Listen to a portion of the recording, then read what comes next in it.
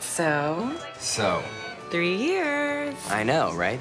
Well, I'm totally ready. You're ready to be a dad? Why isn't this working, Tommy? Something's wrong. I read on the internet that guys are totally faking it nowadays. It's like a trend or something.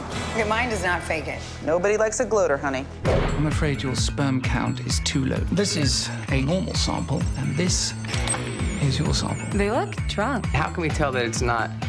Well, I've already examined Audrey. She has, in my opinion, two of the pinkest, plumpest, and most beautiful ovaries I've ever seen. Are you hitting on my wife?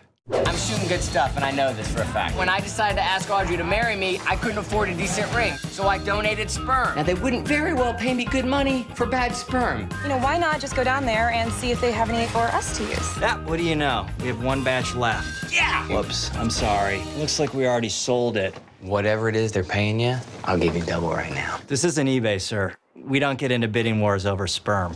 When they said that you couldn't have your sperm back, they robbed you of your future. And you have every right to steal it back. Are you talking about robbing a sperm bank? A double right, you bet I am. No, that's crazy. Crazy or brilliant? Crazy. But brilliantly crazy. No, just crazy, crazy. I know just the guy who can help us. Former bad man for the Indian Mafia. So here is the plan. This is the sperm bank.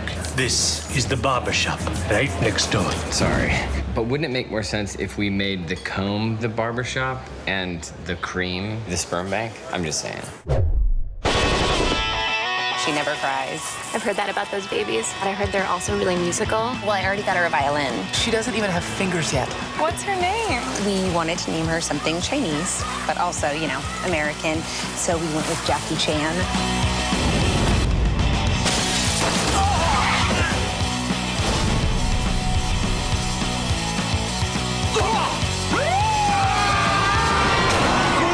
Okay. Everybody cool off! We heard about your problem. What we'd like to do is offer you our sperm. What? People helping people, right. Or not, whatever. Stop smoking that stuff. It's making you paranoid, you douche. Dude, it's for my glaucoma. Do you really have glaucoma? Early stages.